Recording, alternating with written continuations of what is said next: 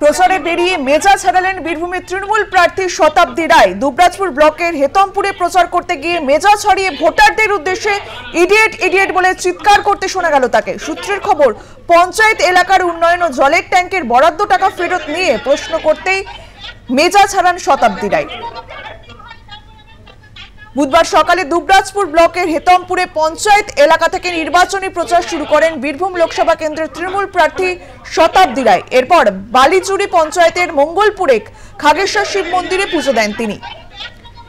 তারপরে সেখানে ভোটারদের উদ্দেশ্যে তিনি ইডিয়েট ইডিয়েট বলে চিৎকার করতে শুরু করেন। টেলিফোনে রয়েছে আমাদের প্রতিনিধি প্রশান্ত দাস। প্রশান্ত ঠিক কি কারণে তিনি মেজাজ হারালেন? দেখো, যেটা হচ্ছে তোমার বিভিন্ন জায়গাতে তিনি কিন্তু যাচ্ছেন, প্রশ্নের মুখে পড়ছেন বারবার এবং সেখানে গিয়ে তিনি বিরক্ত হয়ে পড়ছেন। এবং সেই বিরক্ত থেকে তিনি কিন্তু মেজাজ হারালেন। আজকে দুর্গাপুর অঞ্চলে তিনি সকাল থেকে যে হেতকপুর এলাকা রয়েছে, সেই হেতকপুর এলাকাতে তিনি প্রচার করেন এবং সেই প্রচার চলাকালীনই এক ব্যক্তি জিজ্ঞেস করেন তার যে উন্নয়ন, তার যে অর্থ তহবিল থেকে উন্নয়নের কাজ হয়েছে সেগুলো কি কি উন্নয়নের কাজ হয়েছে? এবং যেখানে জলের ট্যাঙ্কের কথা ছিল, সেই জলের ট্যাঙ্ক বরাদ্দ হওয়ার পরও সেই অর্থ ফেরত দিয়েছে কেন?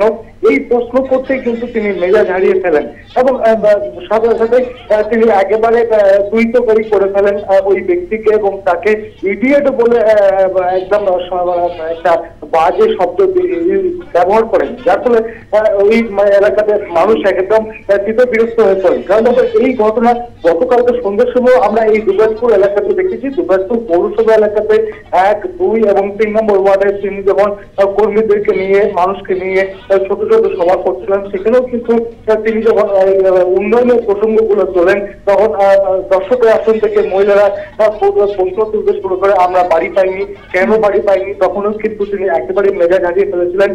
তখন একটা বাজে শব্দের উত্তর ছিলেন। আপনারা কাই কাই করবেন না।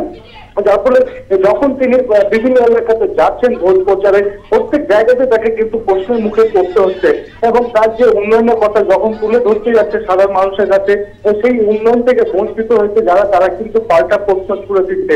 যার ফলে তিনি কিন্তু সেই প্রশ্নের উত্তর যখন দিতে পারছেন না, তখন কিন্তু তিনি মেজাজ হারিয়ে ফেলছেন তাকে যা জমানো যায় তার চেষ্টা করছেন। যার ফলে আজকে যে ঘটনা ঘটেছে দুর্গাপুরের এলাকাতে সেখানে কিন্তু একেবারেই তিনি মেজাজ হারিয়ে ফেলেন এবং তাদের দলের কর্মীকে এবং যে ব্যক্তি একটা মন্দিরে নিয়ে প্রশ্ন তুলেছিলেন যে মন্দিরের কেন উন্নয়ন হয়নি এবং জলের ট্যাঙ্কের কেন উন্নয়ন হয়নি।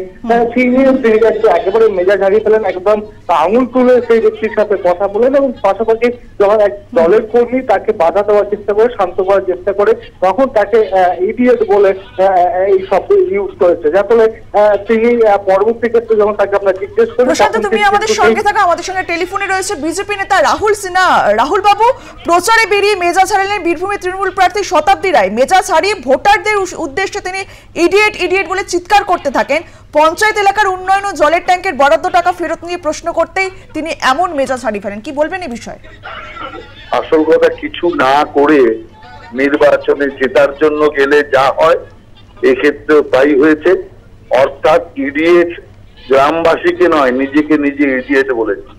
সেই ইডিয়েটটাই প্রমাণ করবার জন্য গ্রামবাসীরা পরিষ্কার ভাবে জলের দাবি তুলেছে। কারণ বুঝিয়ে দিয়েছে যে এই এমপিকে ভোট দিয়ে আমরা কি দুর্দশায় আছি, আর ইডিয়েট মানে উনি নিজেকেই ইডিয়েট বলেছেন।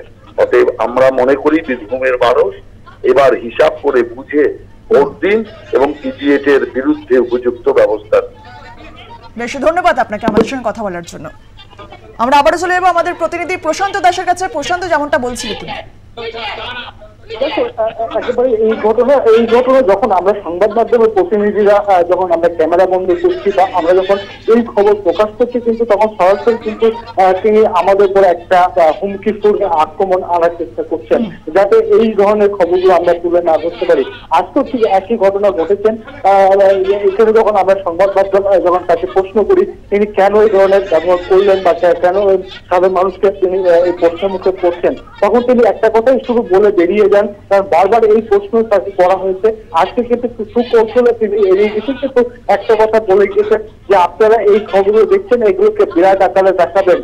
এগুলো খুব ছোট, ছোটখাটো বিষয়, তবে যার সাথে কথা হয়েছে তাকে আমি দেখতে পাঠিয়েছি, তার সাথে আমি ব্যক্তিগতভাবে বুঝে নেব। আপনারা, আপনাদের কাজ করুন বলে বেরিয়ে যায় এলাকা থেকে। এ- একটা কথা আমি উল্লেখ করি, তিনি যখন প্রথম দিন থেকে প্রচার নেমেছেন, প্রথম দিন থেকে একেবারে মোড়ারই থেকে শুরু করে যোগাযোগ পর্যন্ত এই যে পৃথিবী লোকসভা কেন্দ্র যেখানে আহ, তার এলাকা পড়তে সব জায়গা থেকে কিন্তু তাকে এইরকম একটা প্রশ্নের মুখে পড়তে হয়েছে এবং সেখানে গিয়ে তিনি কিন্তু মেজাজ হারাচ্ছেন।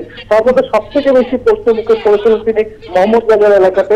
সেখানে দিল্লি এলাকাতে গিয়েছে সেখানে পানীয় জলের সমস্যা নিয়ে রাস্তার সমস্যা নিয়ে মানুষ কিন্তু তাকে ঘিরে ধরেছে এবং তার কাছে জানতে চেয়েছে যে এই পনেরো বছরে তাদের এলাকার উন্নয়ন কেন হয়নি রাস্তাঘাট কেন হলো না বারবার তারা পানীয় জলের কথা বলেছে সেই পানীয় জলের সমাধান কেন হচ্ছে না?